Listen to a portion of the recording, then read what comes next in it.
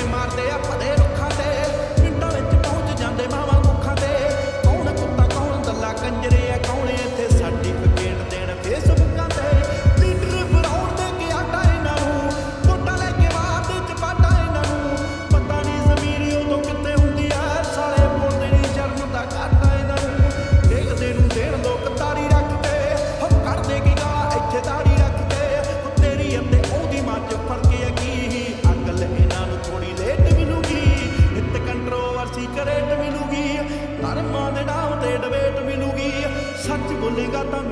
295 ਜੇ ਕਰੇਗਾ ਤਰੱਕੀ ਬੁੱਤੇ ਹੇਠ ਮਿਲੂਗੀ